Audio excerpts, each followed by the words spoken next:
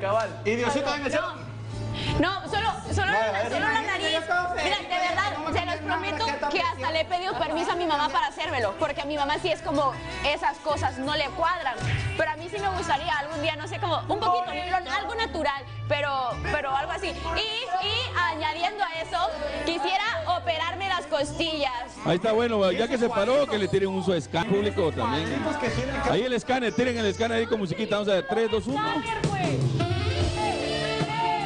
Eso. No, cálmese también, hombre. Yo, escáner, dije no bailes y no.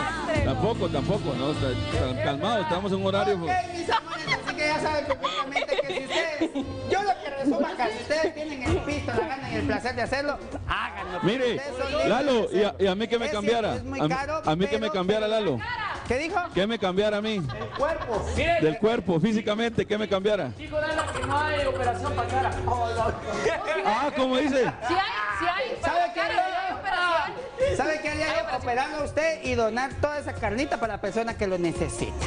¿Verdad? Bueno, hay mucha gente con hambre, es cierto. Pero hay alguien muy importante que también quiere hablar porque el día de mañana nos